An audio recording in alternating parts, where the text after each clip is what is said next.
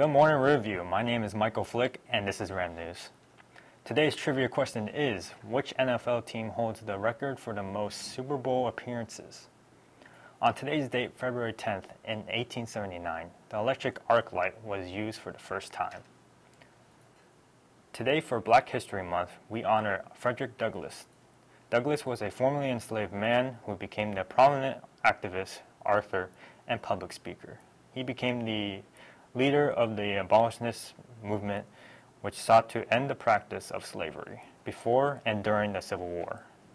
After that conflict and the Emancipation Proclamation of 1862, he continued to push equality and human rights until his death in 1895. The time for buying rose grams is running out. They are being sold today and tomorrow in the breezeway. They are $5 each and will be distributed to students on Monday the 14th. If you are purchasing a rosegram for someone, please make sure that you know the person's first period room number, teacher, and their lunch period. The Riverview softball team has the fan cloth shop open with the, some RHS gear available for order. If you ever wanted to order some of the most comfortable sportswear and everyday apparel while showing your Riverview pride, now's your chance. Go on the softball fan cloth page and get your merchandise while it's still available. The link will be in the YouTube description.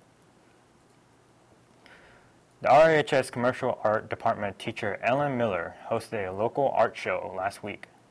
College professors William Merritt from Ringling and Sue Wire from SCF were presented to speak and judge the show. The judges selected the following students as winners. The manipulated photo photography, first place, Basket Weave by Taylor, second, Cat Girl by Samantha, third, Whale in Space by Artem.